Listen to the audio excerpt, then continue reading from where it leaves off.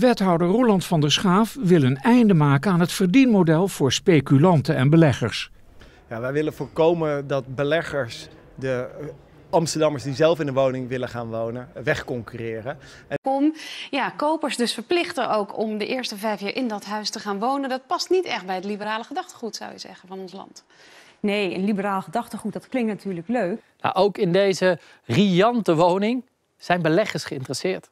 Een grote kans dat de koper van de woning er niet zelf gaat wonen. Maar dat hij de kamer gaat verhuren voor zo'n, nou wat zal het zijn? 700 euro per maand? Er moet een woonplicht komen en woningen mogen niet meer opgedeeld worden.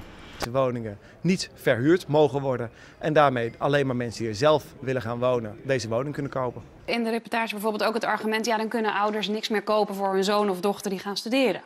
En er komt een woonplicht. De marktwerking heeft dat volgens de wethouder verergerd. Investeerders die een huis opkopen om meteen weer door te verhuren voor vaak hoge prijzen. Het is de SP-wethouder een doorn in het oog. Dus op zich, zo'n maatregel waarbij een woningplicht ingevoerd kan worden door gemeentes, dat zou. Beleggers die huizen doorverkopen, gaan meer overdrachtsbelasting betalen. En de belastingvoordelen die expats krijgen, die worden afgeschaft. En door invoering van een huurplafond verdwijnt het verdienmodel. Er komt aan het opkopen van woningen eh, door beleggers. Dat gewoon...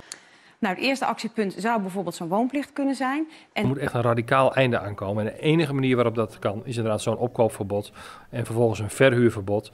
En om dat te bereiken, moet de speculatie stoppen, vindt